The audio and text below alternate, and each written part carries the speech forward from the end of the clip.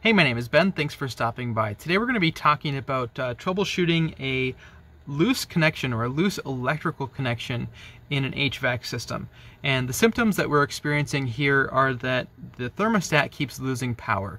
And we know that because the thermostat that's installed here is a Nest thermostat, which uh, uses power stealing and or the common wire to get its battery charged up and make it operate properly. Now, if you had a thermostat that had batteries in it, uh, you may not notice anything at the thermostat itself, but you may notice that the equipment is just not working even though the thermostat says that it is. Uh, so sometimes when we have intermittent issues like this where we're completely losing power, and what I'm going to do here in a minute is we're going to actually look downstairs first and I'll show you, uh, we're, we're, in an attic by the way in case you didn't notice. Uh, but I'm going to show you how to check for power on the thermostat terminals uh, and that's what ultimately led me to be up where I am now. So I'll show you what the problem was here really quick and uh, then hang on and we'll uh, talk about how to check it at the thermostat uh, in just a minute. Now obviously before you go looking in your HVAC equipment you're going to want to make sure you disconnect power or if you're going to work with the power on make sure you know what you're doing because there is 120 volts high voltage, sometimes 240 volts. Be really careful, don't do this unless you feel comfortable doing so. These intermittent issues can be really difficult to troubleshoot, and that's why I just wanted to kind of point out a few things to look for uh, in your furnace itself. So uh, right now the power is turned on. Typically there will be a switch adjacent to your equipment.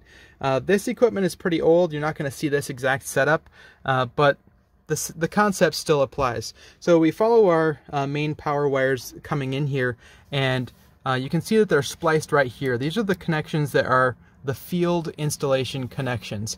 Uh, the rest of the connections inside of most furnaces are done at the factory. So these ones are oftentimes the most suspect for having issues. Now if we look closely at this wire nut right here, uh, what I noticed right away is that there was some discoloring happening on the insulation of the wire that goes to the actual equipment. Now I'm going to turn this thing off again here and I'll just take this off so you can see uh, that we have it fixed now. So when I first looked at this thing, that uh, stranded wire was wrapped around the solid one, but it wasn't really engaging in the threads of the wire nut. And that's a problem because uh, if you don't get the threads of the wire nut around both conductors, oftentimes it'll be still wrapped around there, uh, but it won't be actually making a proper connection. And when you see signs of heating on your conductor or on the insulation next to it, you know that there was a little bit of arcing that was occurring.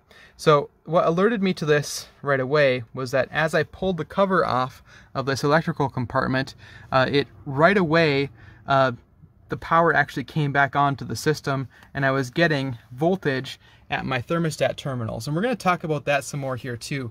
I'll show you down on the actual thermostat how we can check if there is power coming in uh, to that thermostat. And that's going to be one of the more important or easier troubleshooting steps uh, before you necessarily look into what's actually happening at the equipment. Now that we're here though, I will just show you that we have voltage now uh, at our uh, thermostat terminals. So our terminals are exterior on this particular one. These will normally be mounted on your control board or something similar. Now we're going to check between the R and the common, so R and the C, they'll typically be marked, which is typically going to be the red wire and the blue wire. We're testing in volts alternating current and you can see that we do have 30 volts showing right there. Uh, normally it'll be closer to 28 volts, but 30 is still fine. So we're getting proper voltage coming out of our unit now, and we know that uh, we have power to this system. So everything should actually fire up just fine now. I'm gonna put this cover back on there, and then I'll see you guys downstairs in a minute once I make my way back through the attic and down through the access hole and over to the thermostat. Here we are at the thermostat. You can see we've got our uh, electrical meter set to volts alternating current. I'll link to this uh, electrical tester in case you guys are looking for a good general purpose electrical tester. Uh, but anyway, uh, what we're looking at here on the thermostat, you can see we have our R, G, Y, WC. Real quick, I'll run through what their purposes are. The R is our 24 volts coming from the thermos from the equipment transformer. Uh, so it should be 24 volts. We measured it upstairs. It was 30 volts. Uh, and then the thermostat is going to take power from the R and apply it to these other terminals to basically make the system work. So from the R to the G is going to bring on a fan. R to the W1 typically is going to bring on your heating and then R to the Y is going to bring on your air conditioning. So the common wire here is actually just basically like a neutral, um, and that is going to allow the thermostat to draw power from this uh, power supply on the R without turning on any equipment. Now the Nest can do power stealing, so even if you don't have a common wire, the Nest will still work by applying a tiny bit of current from the R to the G to the Y to the W, uh, all at the same time, but not enough current to where it'll actually bring the equipment on. You can see right here, uh, the Nest thermostat even tells you what all those different terminals are for. The power, the fan, the cool, the heat, and our 24 volt common. Okay, so we're going to test the voltage now that you kind of understand the basics with that. Uh, like we said, the R is going to be our 20 4 volts or 20 or 30 volts in this case is what it's actually putting out.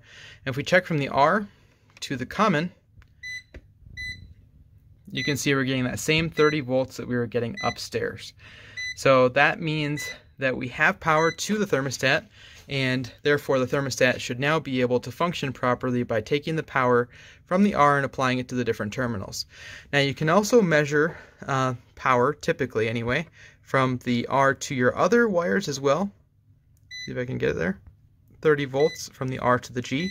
The reason we can sense power from the R to the G is that there's a relay that is basically a big coil of wire, or a tiny coil of wire, uh, that is going to allow power to pass through to here. Well, it's actually the other side of the common. If we measure from the G to the common right now, there should be no difference because essentially these are the same thing right now. You can see the difference is basically nothing. So if you don't have your common wire, which is fairly common to not have it common, uh, then you can measure from the R to the G or the Y or the W, and you should still be able to sense whether or not you have power at your at the location where you're testing. Uh, if that doesn't work for some reason, you can also check from the R to ground. Uh, like if you had the metal frame of uh, an electrical box nearby, you could check from the R to ground. Let's say that the screw went to an electrical box uh, that was metal, we would be able to see uh, voltage there. So just another way to check it just in case you run into that. So now that we have power, let's go ahead and take our thermostat, stick that back on the wall. I believe it was totally dead, but now that there's power here, it should come on and start to charge. Now that that loose connection has been repaired up at the equipment, we restored power to our thermostat and we verified that with our electric meter. Uh, this system should be good to go. We'll test it to make sure that it's all working properly. So hopefully that gave you a good idea of what to look for for a loose connection and also just for testing for voltage at your thermostat. Uh, if you want to keep troubleshooting though, I'll put a couple of videos here on the screen and we can continue to work through figuring out what's going on on your, uh, your system uh, in just a few seconds. So go ahead and click on one of these videos and we'll see you over there. I don't know where you guys are from, but uh, in our area, southwest Minnesota, this sound coming from that huge flock of birds up there is one of the most identifying sounds of spring, and it's amazing. They're so noisy!